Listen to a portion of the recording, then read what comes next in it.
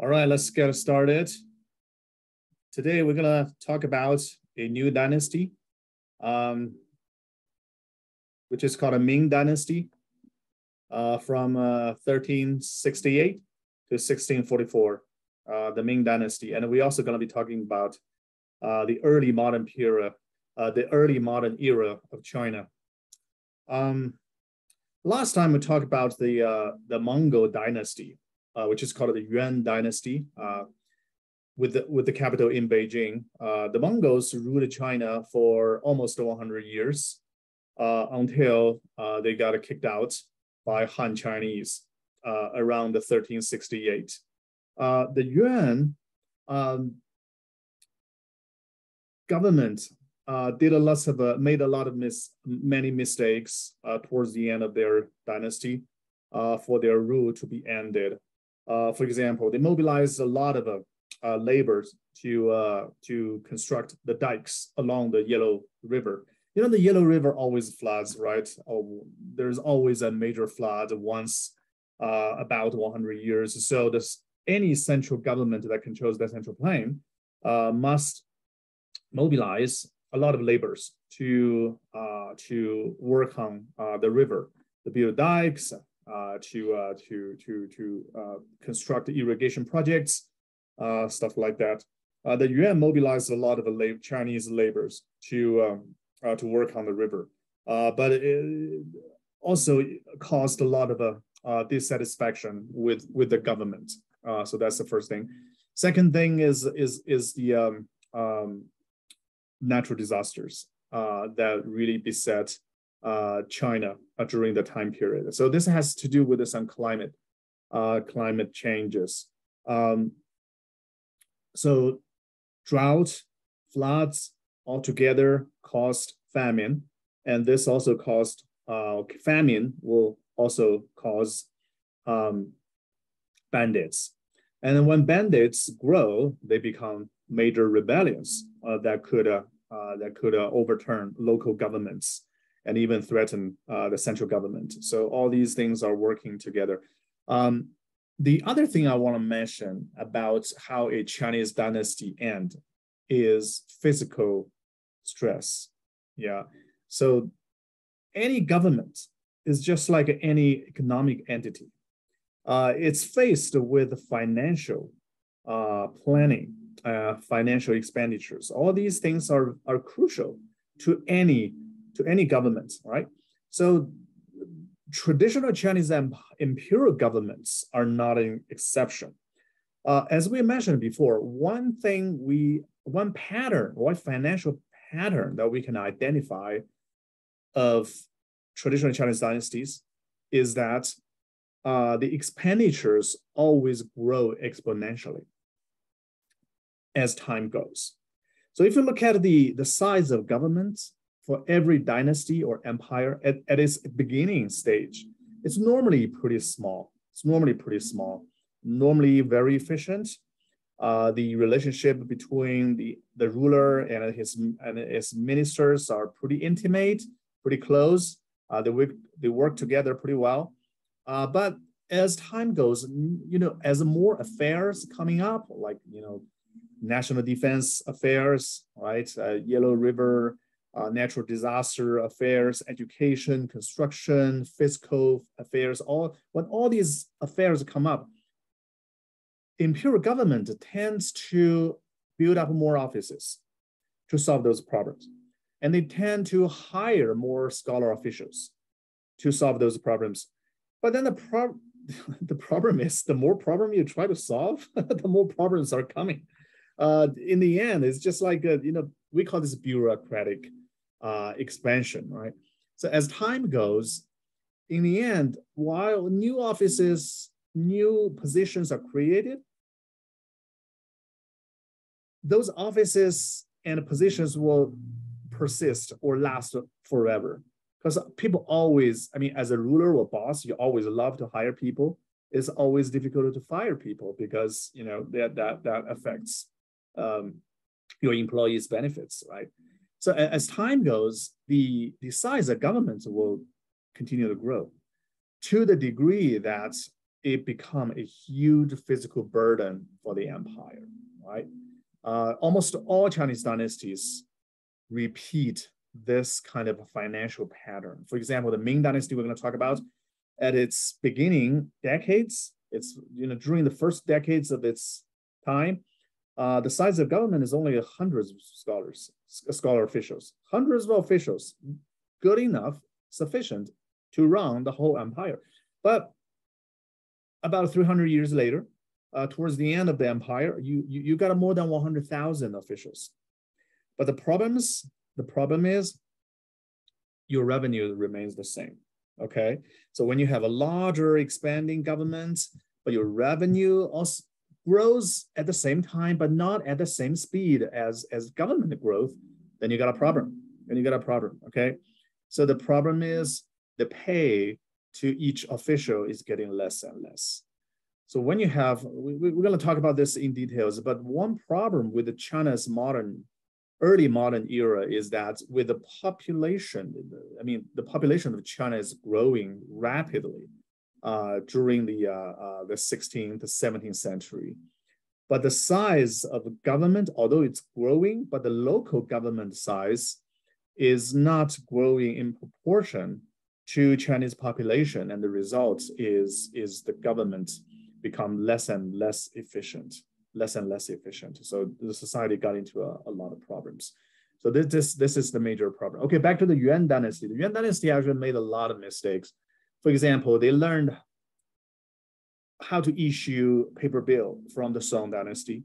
Uh, and and then the mistake they made is that they, they, they created inflation they, they, they issued too much paper bills without enough uh, reserve uh, in their central bank. So people realize that the, the paper bill they issue is just garbage. So no one is using it. No one is using it. Uh, people go to the uh, uh, to a precious metal as the major currency uh, privately. So the government's credibility or the government credit is collapsing, right? So this again, so all these factors coming together are so causing a lot of uh, rebe rebellions. Okay, so we're gonna talk about the Warren rebels. Or this this guy is called Zhu Yuanzhang. Um, Zhu Yuanzhang, the founder of the new dynasty, Ming Dynasty, he is born into a very very poor family. I, I think I think among all the Chinese emperors, this guy is probably from the poorest family, absolutely the poorest family his uh, Zhu Yuanzhang's father and grandfather they did not, they did not even have a name. They're they're called by like the ranking in the family. His father is called like a, uh, his grandfather was called like a Zhu uh, 54. Yeah, yeah. It's it's not even a real name. Yeah, Zhu 54. Yeah, it just just means he's number 54 in in the whole clan or whole extended family. And and Zhu Yuanzhang when when he was young, his siblings are, are some of his siblings even starved to death because of the famine. He, he was born in southern Central Plain. Today is sort of a northern Anhui province. Yeah, uh, so he growing up in poverty. Uh, his family was so poor that his his parents couldn't afford uh, the the financial burden of raising him up. He was sent to a Buddhist monastery. Okay, to to so he served as as a Buddhist monk uh, for for a certain time period. So this guy have seen all the all the terrible conditions of the lowest, lowest strata of the Chinese society. Yeah, he has seen that. He has seen that. But all this terrible experience of poverty, violence, and, and, and harsh life did not make him a very kind person. Okay.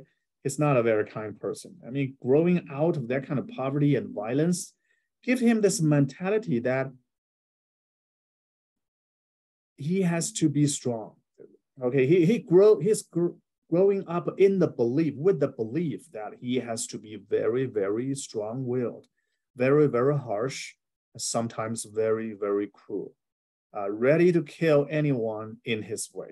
So when he's growing up, uh, his, his when he's rising up as a rebel leader, he, he joined several the rebellion groups and eventually became a a, a successful military uh, commander.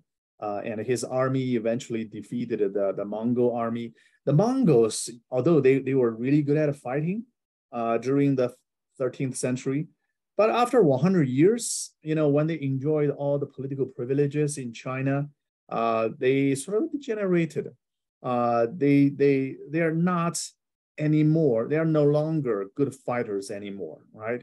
You know, all the Mongols, uh, they're they're they're ruling class everywhere in China. Okay, they they they they they, they scattered all around China in Yunnan province, many other provinces, and everywhere they go, uh, they're rulers. Uh, they they have a lots of last time we talked about this uh, this like social caste system uh, that was in place under the Yuan dynasty. So the Mongols really uh, did not have to work, uh, did not have to uh, serve military, you know, did not have to do a lot of military service services. So so after 100 years, they forgot how to how to how to ride a horse or or or how to how to how to use the bows and arrows. So they lost the kind of military spirit that their ancestors had. So yeah, so in 14th century, they uh, uh, they were defeated by these uh, Chinese rebels like like Zhu Yuanzhang.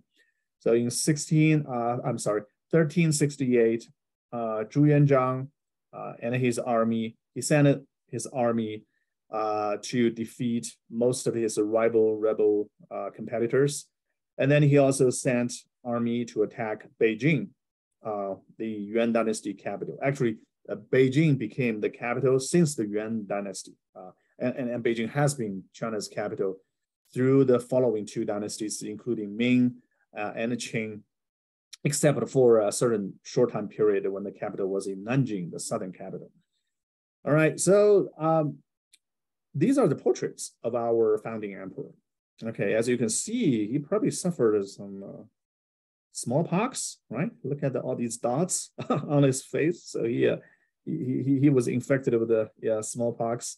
So he, he's not the, let's say he's not the most best, he's not the best looking man, okay, uh, in, in, in, in the world. But, but he loves people to, he loves to hire uh, painters to to to make portraits for him. Yeah. Legend has it that he's so cool that if a painter would uh, uh, faithfully, accurately depict his look or his face, yeah, he, he, he the, the painter will be slaughtered. Uh, so, so he's just cruel like that. Uh, until until he finally got a satisfactory uh, portrait like this, you know, where he is depicted as a kind and nice and a wise old man. Okay, although he is actually pretty ugly. You know, that's that's what what the historical sources report. Yeah, he, he has a really sticking chain, as you can see from those from those uh, uh portraits. Yeah, uh, but he's the emperor. Okay, he's the emperor. Um, when he's in power, he launched several purges. Um, we're going to talk about this. Um, purges means a political movement. A ruler tried to sort of uh, uh, kick out his people he did not like in the offices. Okay, we, we call this purges, purges, right? For example, Joseph Stalin launched many purges, right? Mao, Chairman Mao also launched many purges uh, during the Cultural Revolution period uh, from 1966 to, to 1976, right? Zhu Yuanzhang did the same thing, right? Uh, he, he did not want to share power with his, uh, uh, his uh, friends who followed him in the Civil War that got him the, the throne. So he launched at least three or four major purchases. Each time he killed um, 20 to 30,000 people uh, in his in his government. Uh, in his government. So, so this guy is not afraid to kill a lot of people, to kill a lot of people. So if you look at the Chinese politics, truly cruelty, violence, brutality, those are the words to describe that kind of a palace politics. Okay yeah, it's pretty pretty high risk, uh, pretty dangerous. Yeah, pretty dangerous. But by by killing so many people, he he he he consolidated his rule. Okay, he consolidated his rule.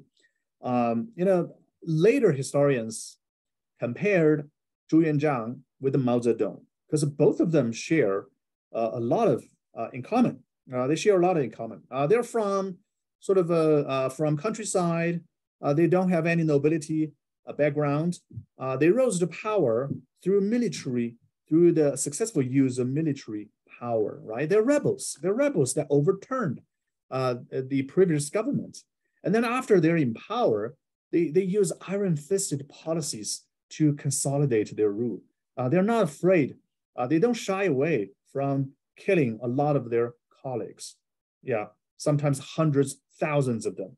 Okay, so but by doing that, uh, they try they sort of consolidated their rule pretty successfully.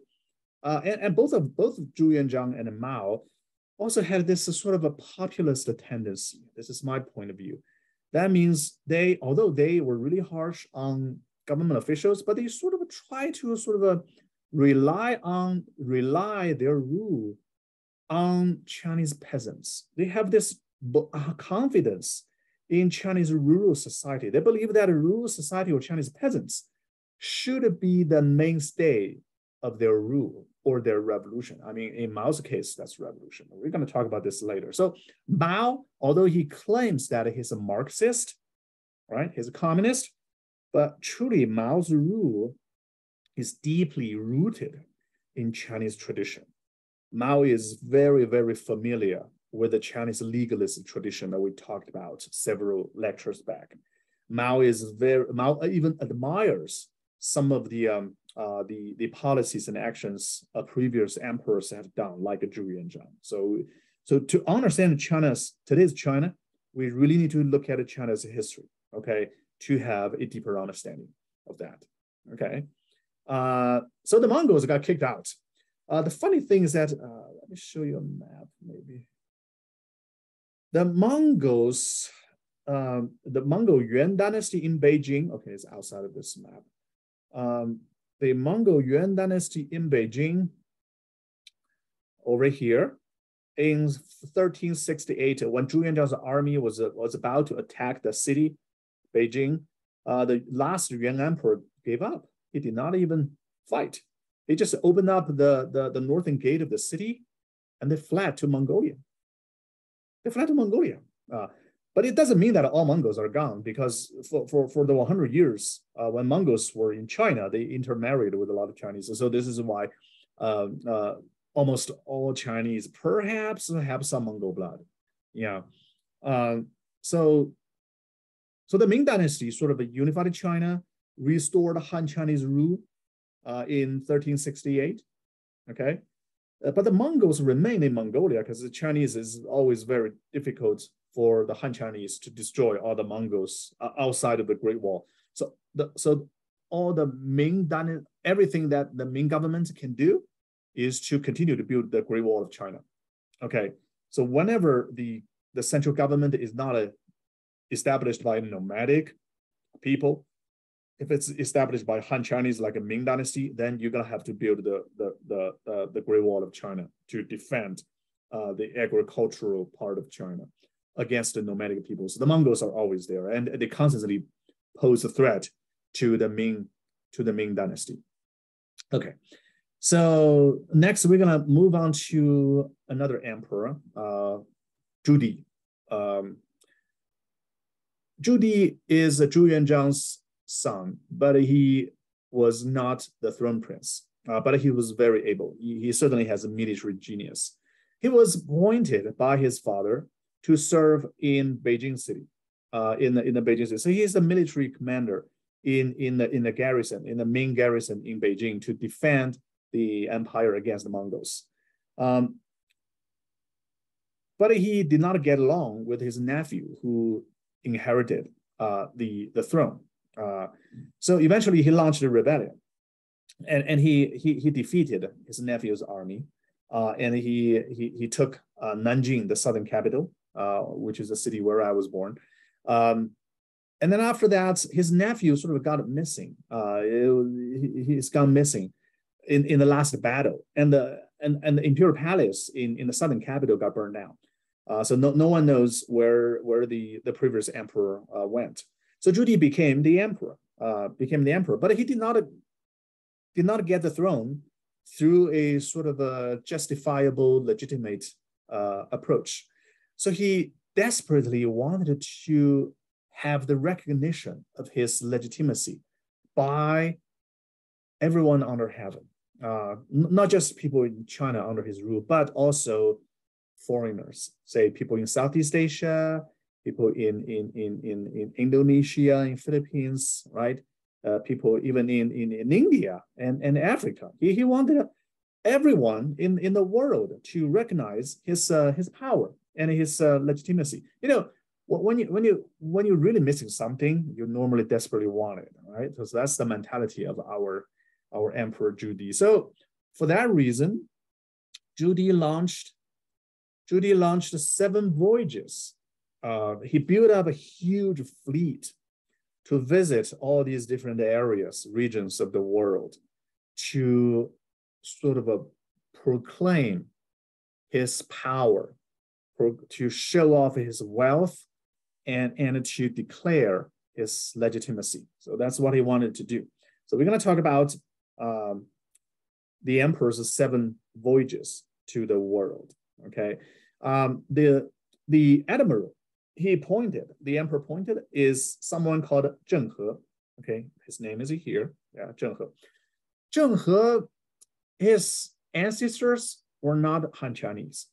Zheng He's ancestors were from Central Asia. He probably has a lot of uh, Arabian blood.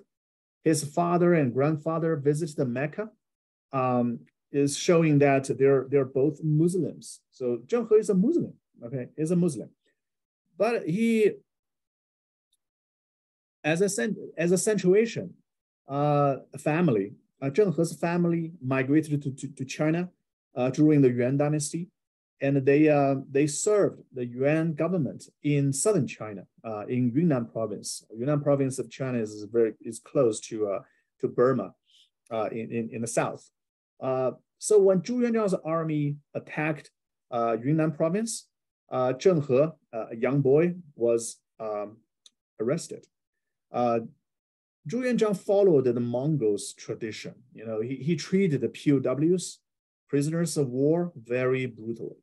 So as a young boy, Zheng He was castrated uh, against his will, against his will. So he's taken as a slave.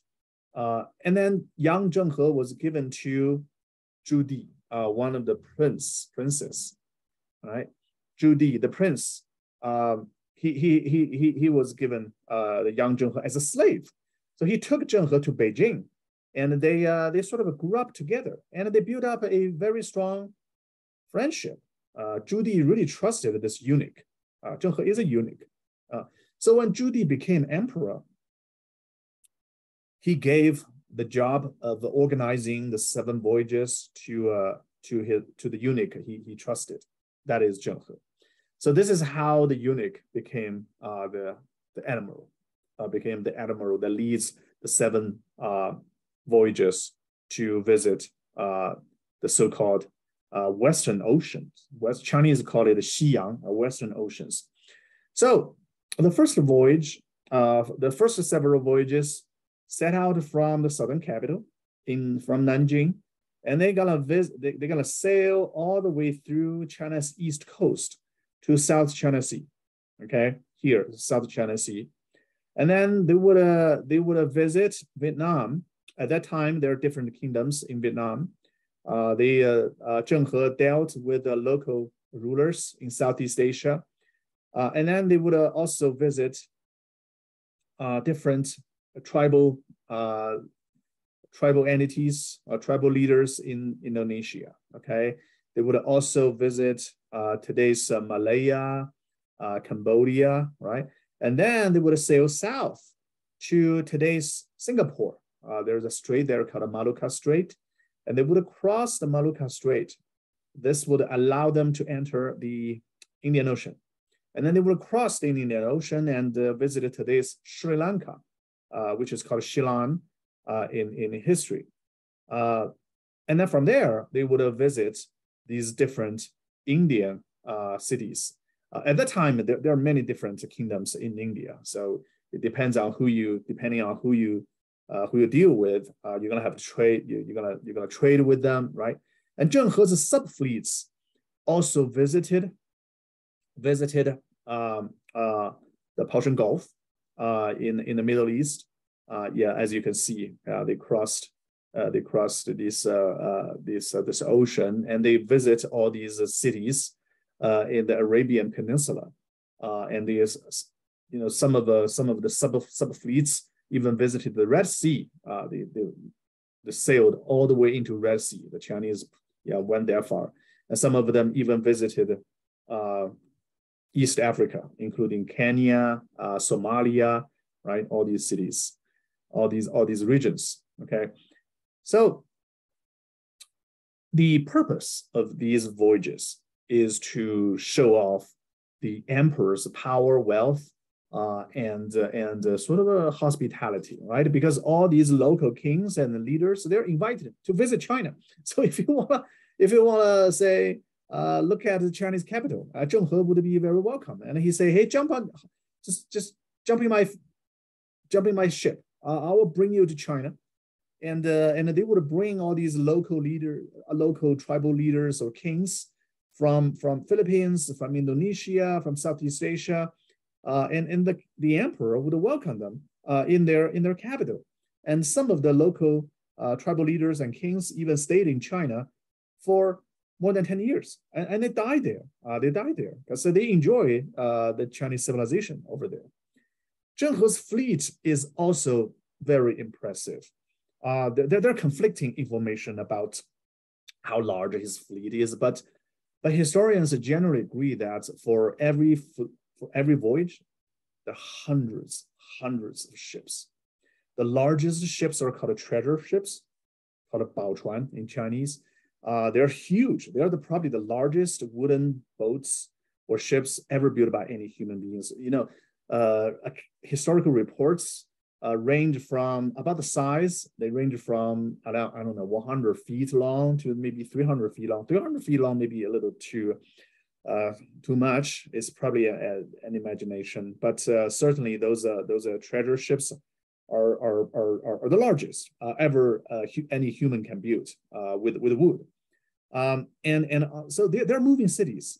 They're moving cities, and and and in addition to the biggest treasure ships, there are another hundreds of smaller ships like horse ships, water tank ships, repair ships, and, and battleships uh, each battleship would uh, would be equipped with with dozens of uh, of bronze cannon guns, so the biggest navy as well. So when everyone witnessed the movements of such a huge fleet, it's awe-inspiring. It's absolutely awe-inspiring, and that's exactly what the emperor wanted people to to think of. Uh, to, to, to that's exactly the, the mental reaction the, the emperor wants. He wants to impress all these all these um, China's neighbors, right? Uh, so these are moving cities uh, consisting of uh, each voyage would consist of more than 20,000 soldiers uh, uh, and the seamen uh, and the crew members. They each are in, in, in charge of different things. And, and, and, and they also bring repair material with them. So that means if any ship got broken, they can fix it immediately and continue to sail, continue to sail. Um, and, and the Chinese also have very abundant knowledge about, uh, about uh, sailing. Uh, for example, they would plant veggies, fruits on, on those huge ships. They even have uh, water ponds uh, to, uh, to raise freshwater fish so that they have fish to eat. Yes. So veggies and fresh veggies and fruits are super important for this long distance sailing because you know when Europeans embarked on embarked on journeys to explore uh, different parts of the world through maritime routes, a lot of them suffer from the problem of lack of vitamins, and that's deadly. A lot of Europeans died uh, during uh, during I mean 80 or 100 years later uh, for lack of vitamin, but but Chinese never had that problem. because their ships are moving cities where they can they can grow veggies and fruits and, and provide a vitamin to their crew members. So that's not a problem, uh, not a problem. So we can do a comparison of, of uh, Zheng He's voyages and say um, Christopher Columbus. Columbus is uh, Santa Maria, okay? So if you look at this, this comparison, there's a tiny small ship is Columbus. Columbus is Santa Maria. Yeah, 75 feet by 25 feet, a small boat. And in the background is Zheng treasure boat. Treasure boat. That's that's how large that boat is. Okay. The Chinese really built up the largest navy. And, and Zheng He is 80 years before 80 years before before da Gama, uh, the the Portuguese uh, uh, sailor uh, who who arrived in India. When Zheng He arrived in India, uh, they they the, the, Chinese were reported by the local people as so-called the white man. So so this shows something interesting. The the racial concepts that we have today is a modern invention. Ancient people, when they look at other people's skin, they don't have our modern understanding, European honors, you know, categorization of a uh, of a ratio uh, categories. So, so Chinese could be considered as, as white men by local Indians because because most in southern India we know that the most uh, local population they have darker skin. So so when they see Chinese they think that these people are white men. But but Zheng He was there 80 years earlier than than than Europeans who arrived in India. Uh, but the Chinese are very different from from the Europeans. Um, we know that we're talking about an era of colonization, right? Yeah, the great era of exploration when, when Europeans wanted to find colonies. Europeans visited all these different regions of the world to establish colonies. Okay, they want to find supplier of the raw material and they want to find the markets for their European products. Right, this is what we call colonialism. But the Chinese are different. Zheng He, I mean, they, they might be, uh, the, the Chinese may be motivated by a pompous motivation. The emperor just want to show his power, but the Chinese had no intention establish any colonies, no matter where they go. Although they had the power, they had the military power. I mean, look at how large the, the navy is. They had the power to establish colonies in Southeast Asia, Indonesia, India, and even East Africa, but they didn't. They just basically they, they came over to say hello and show you how wealthy and powerful we are and they traded with the local people and they bring the local exotic products back to their capital. That's it. They never established any colonies. They did not even build up any military bases uh, along the way, although they could. So, so very so keep in mind that these Chinese voyages are very very different from from the European uh, from the European voyages. Okay. Um, so when, when Zheng He visited Africa, uh, they brought over all these exotic animals uh, like rhino, hippo, yeah, uh, lions, right, the cheetah. Uh, and and the, and one day Zheng He reported that reported to the emperor. He said, "Hey, emperor, your Majesty, we, we, we found the legendary beast mentioned in the Analects of Confucius. In the Analects Confucius, there's one passage that says uh, Confucius dreamed of a unicorn. And when he wakes up, Confucius says, I'm going to die because I dreams of uh, this legendary beast that's a unicorn. Uh, but, but no one sees, no Chinese have ever seen a unicorn, right? It's a legendary beast. But Zheng He reports that we caught a unicorn in Africa. And emperor, we, we're gonna, your majesty, we're gonna bring some at least two of them, back to you. The emperor is super happy. Uh, and, and the emperor built up a zoo to a royal zoo to accommodate all these exotic animals Zheng He brought over. And sure enough, here's the unicorn. This is the unicorn that Zheng He brought to the emperor. In order to welcome the unicorn into the royal zoo, the emperor had to demolish and enlarge the city gate because the unicorn, these unicorns are too tall. they, they, even had to uh, enlarge the city gate for the unicorns to come in. Uh, so yeah, so that's um, so the emperor is super happy with all these uh, all these um, um, contributions to his personal collection of exotic plants and animals. Uh, the Chinese also accumulated a lot of knowledge about uh, the world uh, through these voyages. Yeah, they, so what's shown in the PowerPoint is a nautical chart, uh, is, is the sea map that, that, that, that the, Chen, the Zheng He uh, sort of uh, made. Uh, the Chinese has, has, has their own technologies to, uh, to, to measure the distance, to measure the depth of the sea, to measure directions, and, and, and, to, and to chart the territories, the, the oceans they, they explored. so all these, all this knowledge uh, is is contained in in all these uh, nautical charts. Uh, but unfortunately, um, after Zhu Emperor Zhu Di died, uh, these voyages uh, were ended because Confucian scholars believe that these voyages, although they may be fun, the emperor have, is having a lot of fun with those voyages, but they're too expensive expensive. They're way too expensive. Think about that. I mean, for any country to, to send to organize seven voyages containing hundreds of huge ships with a 20,000 uh, uh, crew members, that, that's going to cost you a lot of money. So eventually, uh, Confucian scholars are uh, criticized. Uh, they, they, they, they, I mean, they criticized the, these voyages.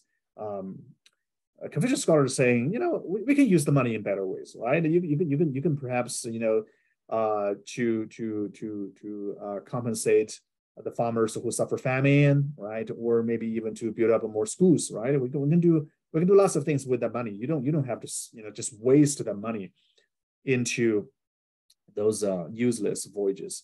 So in the end, uh, these voyages were all ended, and uh, some Confucian scholar officials they're afraid that future emperors would uh, reorganize uh, this kind of voyages, so they burn down the nautical charts like this.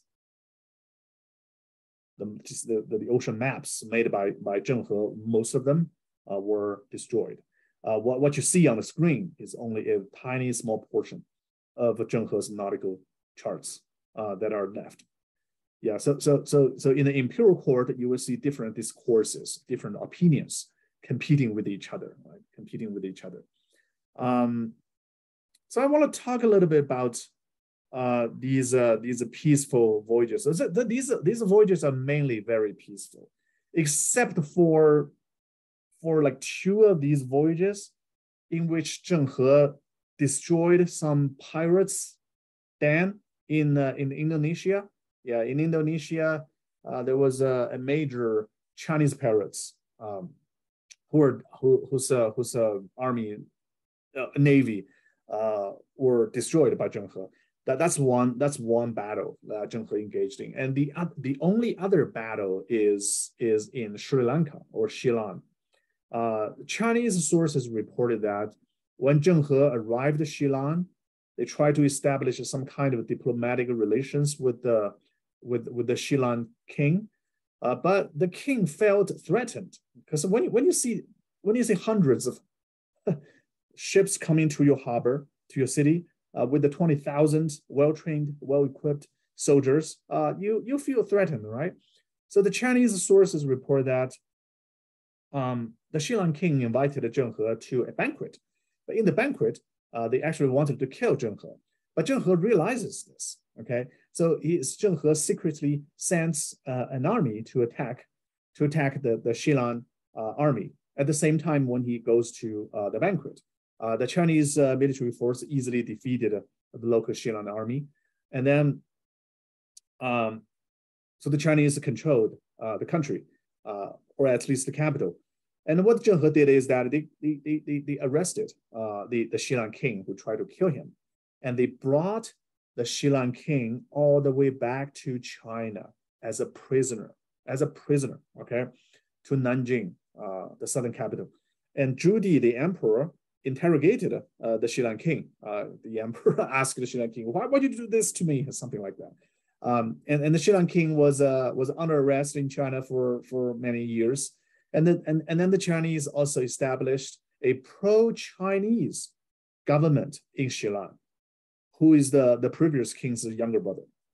Okay, so this kind of a world of policing activities, I, I call them world policing activities very similar to what United States are doing today. When it's you know United States is sort of a you know motivated by this uh, uh, belief in legitimacy based on democracy. United States sometimes will go to militarily intervene in other countries' politics, right? Overturn the government, and then establish the pro-American government. The Chinese did the same thing.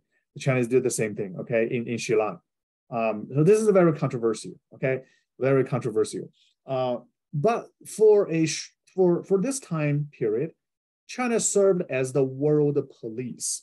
So Zheng He's voyages also served the job of policing all these neighboring countries. For example, uh, for those Southeast Asian countries like Burma or Thailand, if one country wants to pay a tribute to China's capital, but if the if the um, uh, if the envoy is thwarted or stopped by by his neighbor country, then then then then you could you could file a complaint with Beijing uh, or, or Nanjing. I mean, in this case, I mean, uh, Di first had his capital in Nanjing, and then he relocated the capital to Beijing. So if the Chinese emperor received that complaint, he would uh, he would sent a letter to the the other party in the dispute saying, "Hey, you're sort of uh, violating this international law that China recognizes." Okay, uh, yeah, because you cannot stop your neighbor from uh, paying a tribute to Beijing, right? Or if a Southeast Asian country had a coup d'état, that means had had a, had a sort of a, a, inner inner struggle. For example, if a minister overturned the previous king's rule and usurped uh, the throne, in that case, uh, the Ch Chinese emperor would also intervene. So the Chinese concept of, of, of a in a proper international order certainly is not based on democracy. Uh, there is no such thing, uh, but it's based on conservative traditional legitimacy, right? For example, if if the Thailand king, the Thai king has been ruling for for, for like centuries, but all of a sudden uh, a, a, a, evil minister is gonna usurp the throne, then then the Chinese king, uh, Chinese emperor would intervene by by sending first sending a letter.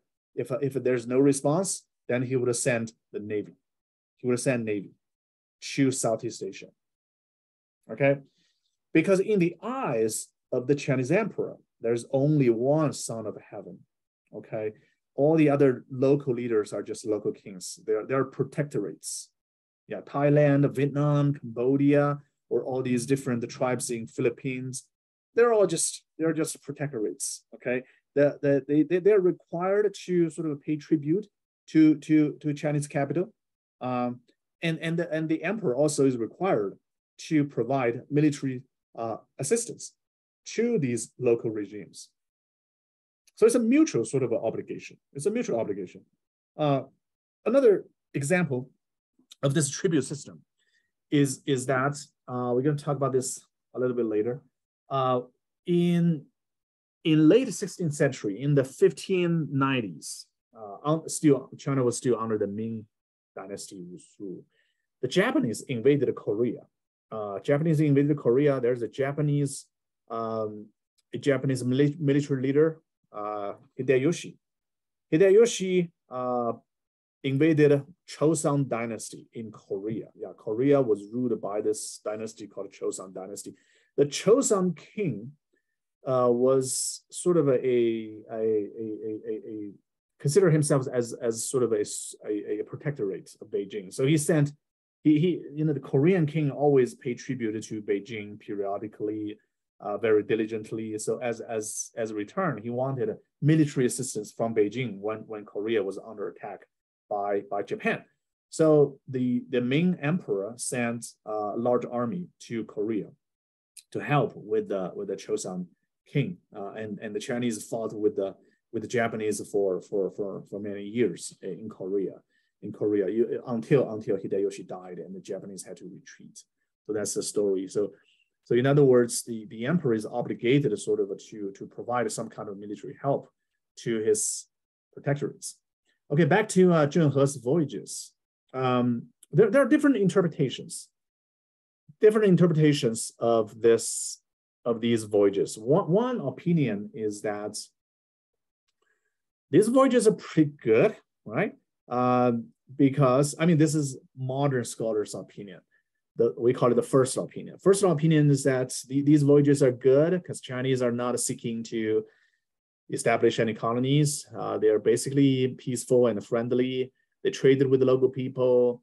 Uh, they they sign up a they sign up a sort of a uh, they not sign treaties, but they but they but they establish a lot of stone steles or or, or stone inscriptions everywhere they go uh, to sort of strengthen the friendship and diplomacy with the local governments, right? uh, it, it's a good thing. It's a good thing. But the second opinion is that um, is a Confucian opinion. That means uh, that means these uh, these voyages are totally a waste of resources.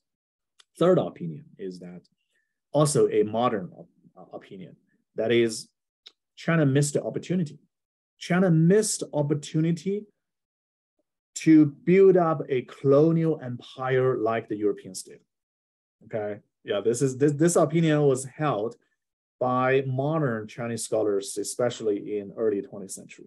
Uh, yeah, so the, the, this opinion is that China could have, you know, just like Europeans who arrived in India and Africa 80 years later, China could have built up a, a lot of colonies uh, in, in those countries so that they could uh, they could use the market and, and the raw material uh, in those colonies to sort of uh, uh, help with a industrial revolution uh, in China per se, in China, the homeland, right? We know that, you know, industrial revolution could not have happened in West Europe in the in the late 18th century and early 19th century without colonies, right?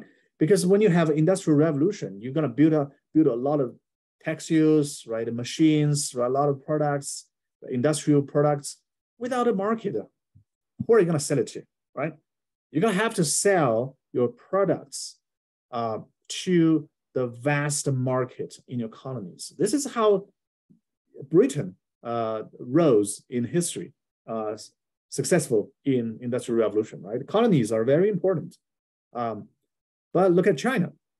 Uh, China did not have industrial revolution, uh, right? In early modern period, China sort of a, China has been taking the lead uh, as, as a leading civilization, but in this time period we're talking about, China is falling behind, right? So this is a third opinion is, is saying uh, Zheng He's voyages could have built up all these colonies and, and, and, and, and, and boosting China's own industrial revolution, but it didn't. It's a missed opportunity.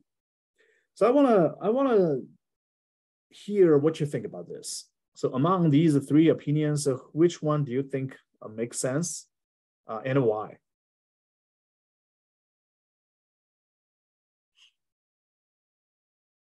Anyone? Honestly, I think all three of them make sense within the context. Like I um I don't think there's an issue necessarily with any of them because I know at that time like imperialism and colonialism was like a really big thing that people were trying to spread um, and it was like rapidly happening even yeah. like within 80 years it's not a very long time frame to have like like to colonize the entire world so it makes sense that a lot of people would have seen it as a missed opportunity but at the same time i think it is a good thing that they were kind of just looking around and not necessarily trying to mess with any countries mm-hmm. so i think all three of them have really ground like solid grounds for a good argument. Hmm. Interesting. So they are all right, huh? Yeah, I would say because all of them fit within the context of where the empire was going and everything. Hmm. Good, very good. Uh, any other comments? Do you guys agree with the Jay Lee? Yeah, I, I would say I agree as well. But I think that what's kind of hard about this is that a lot of this can be influenced by hindsight. Like, obviously, we as people living centuries after the fact can think about how China missed an opportunity to establish a colonial empire or mm-hmm. consider the merits of this naval fleet. But obviously, the, the people at this time couldn't predict any of those things. I mean, when you look at a, as, as we read, I mean, for our readings, the Ming dynasty like very quickly went through some financial problems yes. later in its reign, which did not help things. And we can't be certain whether this naval fleet would have been a bigger detriment had they continued it, like whether that would have just ended up using up even more money and facilitated the collapse faster or if perhaps if China did try to use like use it to establish colonial empires, if it could have prolonged the lifespan of the Ming dynasty by mm-hmm. giving it access to more resources, like what happened with all of these European empires. Right. I mean, I think I think China, even if they had the opportunity to establish a colonial empire, I think China was at this point generally just more content with having countries pay tribute. Right. Like because of the belief that, you know, the emperor was like this kind of moral center of this region and that right. it was only respectful to pay tribute to him. I don't think they were really expecting much more from these countries than that. But again, that's something with like the benefit of hindsight. We can say, oh, they missed out because yeah. because we know that the European countries were doing that, but China didn't necessarily know that these European empires were going to become so powerful. So they might have Yeah. not thought it was necessary and just thought, hey, this is wasting money. We're already going through some financial difficulties. So I think I think they're all yeah, I would agree that they're all understandable, but it's also a matter of like I imagine it was very difficult uh deciding what exactly to do for the people in that time. If that Yeah. makes sense. Yeah, totally, totally. That's those are good points. Yeah. Any other comments? Yeah, these are great discussion. I think it's also important to understand that a nation's responsibility is first and foremost to its own territories and to its own people. So Mhm. if you are having problems domestically, it's generally unwise to invest so much in international colonization or trade. The Maria, do, do you agree with the Confucian scholars who, who uh, criticize these expensive voyages more? I would because there is still like a struggling class. There's still like a lot of poverty, a lack of education. Like I Exactly. think all of that money could have definitely gone into the institutions within that country instead of trying to create more institutions outside of the country. Good. Yeah, good point. Good point. Uh, any other comments?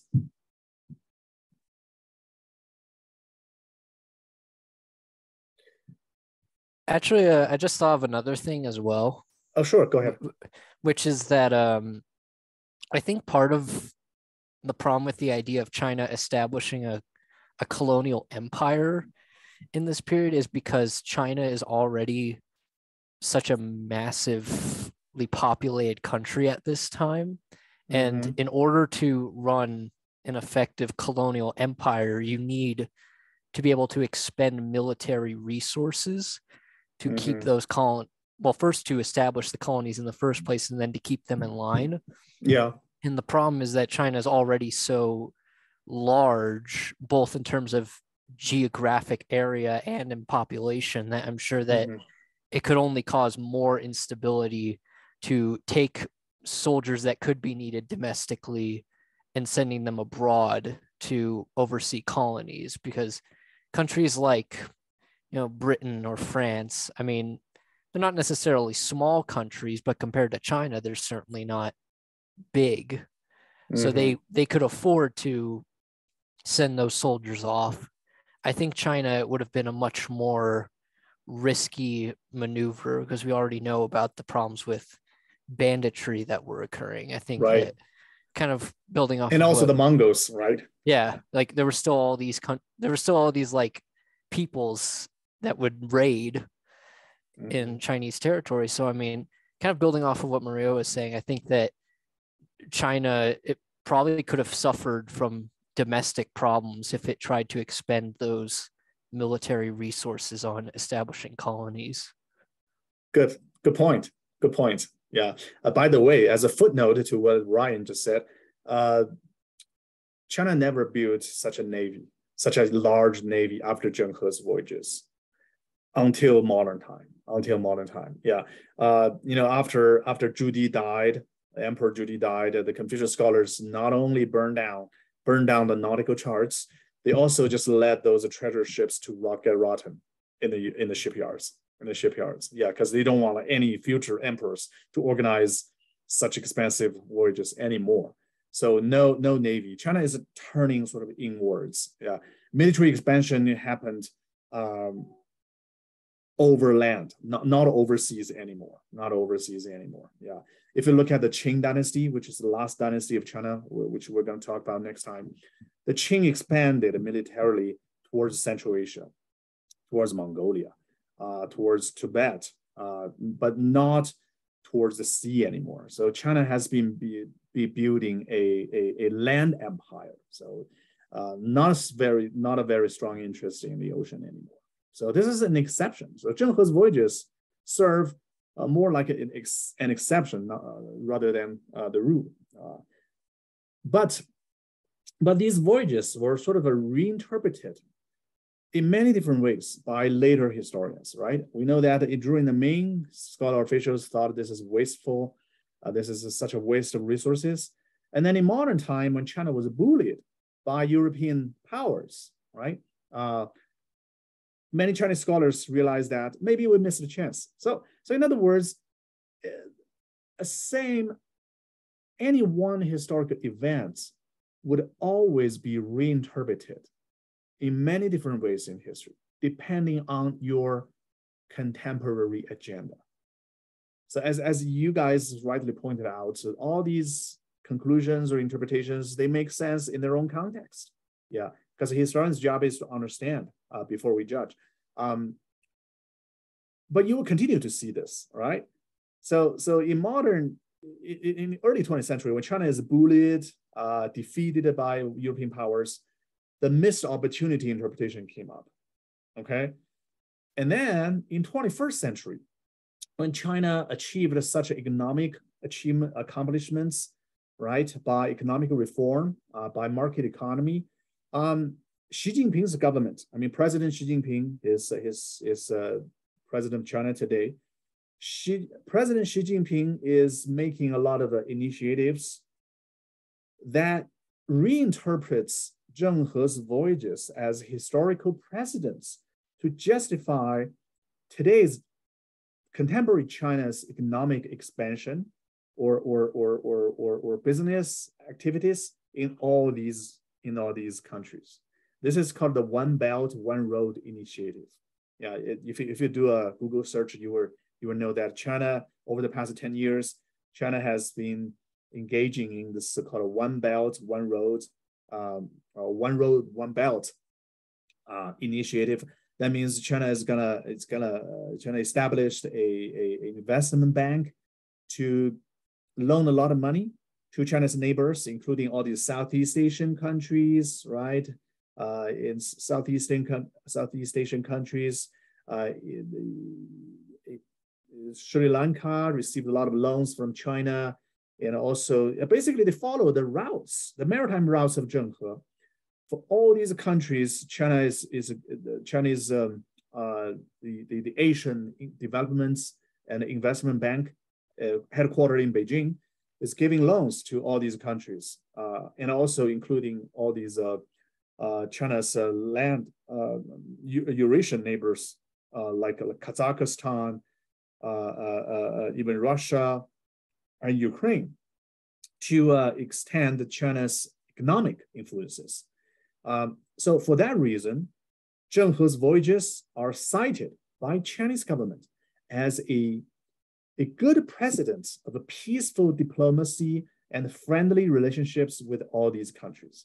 For example, in 2008, when the Olympic Games uh, were, were hosted, uh, were held in Beijing, Zheng He's voyages uh, were depicted uh, as an opera uh, in, in, in the Olympic Stadium to show that Chinese are friendly. You know, we're, we, we, we, we don't want to we don't want to have colonial colonial expansion or, or, or colonial control of your country. We just come over to say hello. So, so the same historical events are constantly being reinterpreted by different enactors of history for their own particular political economic agendas. And this will continue to happen. You will see a lot of times you will see totally composing interpretations of any uh, single historical event, right? You, you will find out numerous historical events are like that, like that in, in history. So uh, the last thing I want to mention is, uh, is one interesting uh, argument that is uh, a retired British naval officer um,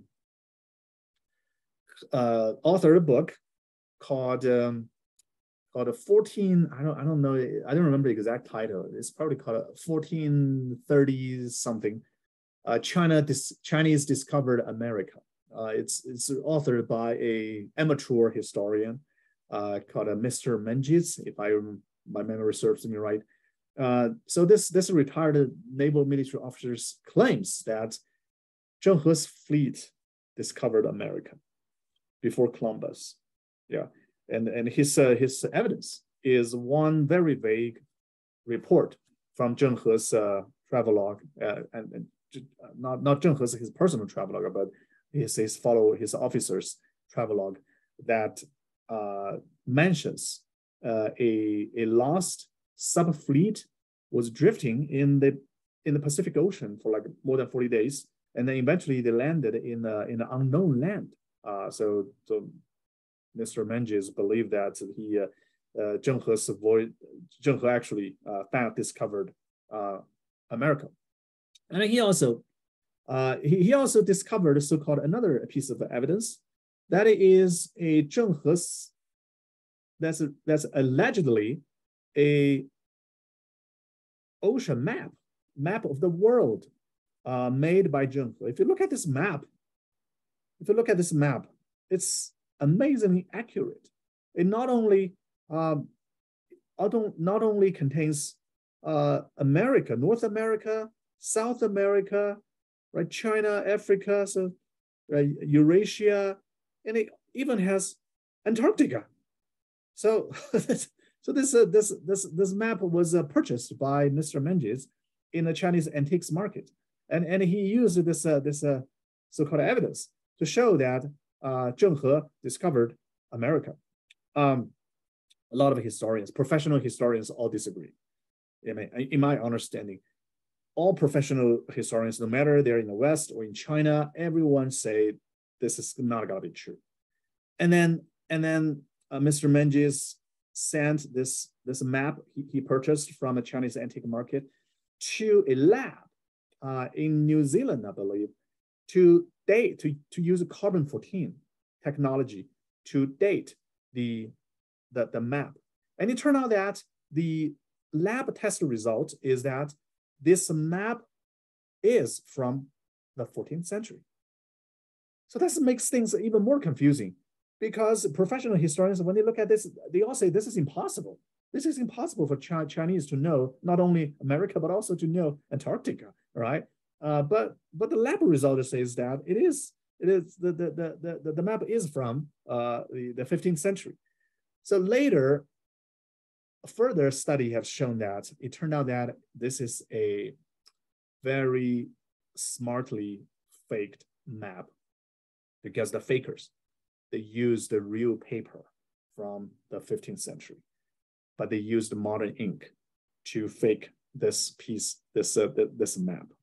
And and Mr. Menzies just purchased this uh, this map, and he believed that really the Chinese discovered America. So this is uh, yeah, there, there, are a lot of problems with this, with this map. I, years years ago, I remember I, I watched this um, this documentary movie from the history in History Channel, and the uh, many China his you know, China historians are interviewed in the uh, in the documentary, and uh, all of them are you know are, are, are questioning the authenticity of this map. For example, a lot of the place names used in this map are modern place names. They cannot, they couldn't have been used in, in the Ming Dynasty. So that's a linguistic uh, sort of a criticism, linguistic criticism of uh, of this map, of this map.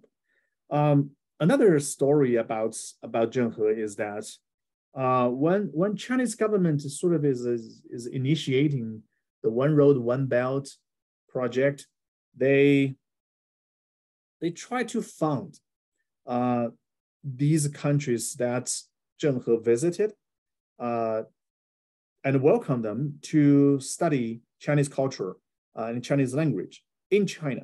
Uh, and then a couple of years ago, I believe it was 2005, a Kenyan girl uh, sent a letter to Chinese embassy in Kenya, in East Africa. And she claims that she is a descendant of a Zheng He's seaman who had a shipwreck or accident in, in, in Kenya. He says, hundreds of years ago, my ancestors, they're from China. They, they had this, uh, this accident uh, in, in Kenya, they lost their ship. So hundreds of them just settled in Kenya, uh, and and and they they they they, they settled there. Uh, they they maintained their Chinese tradition. Uh, their their skin color is is is pale, uh, lighter, and the, the traditions and customs are different from other local people. And I am a descendant of those Chinese who arrived to Kenya. And, and, and I'm a descendant of a, a who was a seaman. But if you look at this, this girl, she, she looks purely just like a Kenyan African girl. So there is no biological traits that shows that she's a Chinese, but, but she constantly writes to Chinese embassy year after year, okay, until one day he received a scholarship from Chinese government saying, okay, we trust, we believe your story. Here's the money. You're welcome to study Chinese language and culture to China. So she got a like four year scholarship of going to China, all paid by the Chinese government. So there's a funny story about um, about the legacy of Zheng He's voyages uh, in 21st century. In 21st century. Uh, all right, so now let's let's have a, a break, and then we will have we will meet again at uh, say uh, 605.